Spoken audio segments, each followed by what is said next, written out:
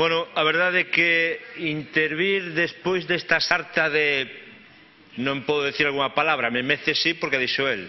Non porque retirou, o sea que fago favor.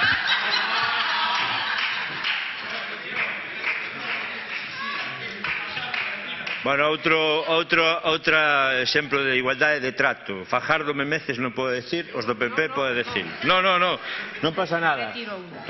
Non pasa nada, non pasa nada. Acepto, acepto esta forma peculiar de dirixir os plenos.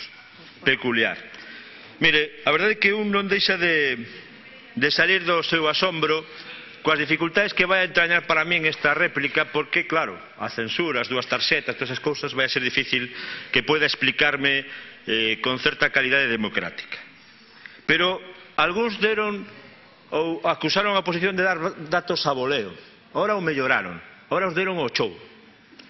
Porque falar dos empregos que xeneran determinadas industrias así o chou, sin ningún tipo de referencia empírica que se pode demostrar, é tremendo. Eu recordo eh, cando no meu Concello puxeron en risco o conxunto da rea prometendo máis de 150 postos de traballo na central de hidrocarburos de Ferrazo e resulta que ao final eran dous. Dous. Digo un exemplo. Falamos, por exemplo, de Reganosa, que non son eses que dicen, hai 40 con sorte. Por lo tanto, os datos o show son perigosos cando eres, aínda que sea de casualidade, o portavoz do Partido Popular en Galicia. Eso é un perigo. Pero sobre todo tamén é un perigo que vostedes non estean coherentes co seu presidente. Porque, mire, o seu presidente esta mañá dixo que se comportaba mal a automoción e que non era responsabilidade del. E resulta que agora ven o conselleiro e o portavoz do Partido Popular a dicir que sí, que o mérito do novo contrato e eh, do goberno. Aclárense entre vostedes, falen un pouco. Eu sei que entre os viaxes a Cuba, as visitas en Montepío, os regalos de la hostia e as eh, contratacións de cursos de formación que tamén traen regalos a aparellos, non teñen tempo para estas cousas. Pero é bo que un goberno fale entre sí e teña cando menos o mesmo argumento. Porque a realidade é teimuda.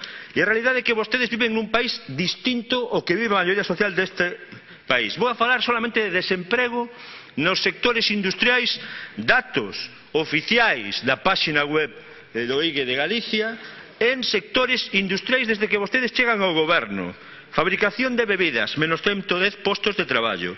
Industria textil, menos 500, confección, menos 3.000, industria da madeira, menos 3.000, artes gráficas, menos 900, fabricación de produtos minerais non metálicos, menos 5.000 postos de traballo, metalurxia, menos 7.000 postos de traballo, fabricación de mobles, menos 1.800. Podo continuar así toda a retaíla de datos negativos de industria, de empregos na industria desde que vostedes chegaron ao, ao goberno e, polo tanto, aún lle molesta profundamente cando se fala, cando é o máximo responsable de industria deste país con esa, eh, digamos, soltura plantexando eh, cousas que non son reais. E, sobre todo, cando vostedes ven aquí a facer defensa da internacionalización. Dous exemplos de internacionalización, Vestas, 150 postos de traballo menos por a súa internacionalización.